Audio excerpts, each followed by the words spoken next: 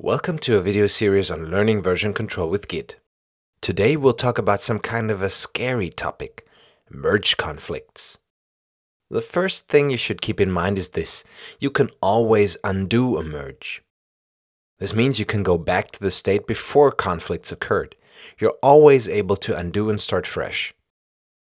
Also, a conflict will only ever handicap yourself and not your teammates.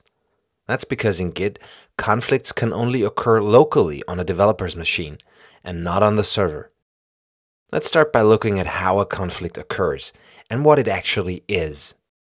In Git, there are a couple of operations that integrate changes, for example when merging, rebasing, or cherry picking. A great thing about Git is that it makes merging extremely easy. In most cases, Git will figure out how to integrate new changes. However, there's a handful of situations where you might have to step in and tell Git what to do. Most notably, this is when changing the same file. Even in this case, Git will most likely figure it out on its own. But if two people changed the same lines in that same file, or if one person decided to delete it while the other person decided to modify it, Git simply cannot know what is correct.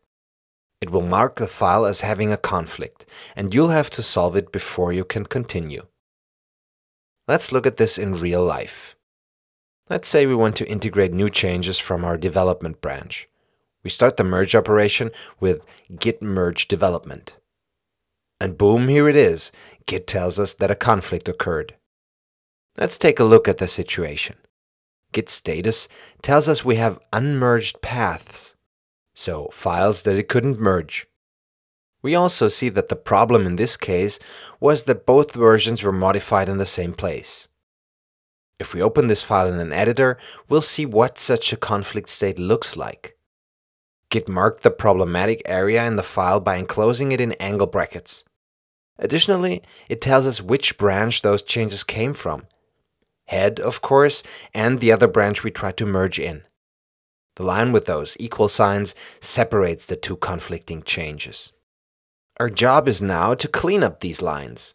When we're done, the file should look exactly as we want it to look. Correct code and no more bracket markers. Maybe your code is correct, maybe it's a teammate's code, or maybe a mixture between the two. The most basic way to do this is indeed with your text editor. Change the file to look like it should look Then save it, and on the command line, run git add in the name of the file. This tells Git that you resolved the conflict. Finally, you need to commit your resolution like any other change, and this completes the conflict situation. Let's replay the conflict once more, because if you have a dedicated merge tool installed and configured, there's a more elegant way simply call git merge tool.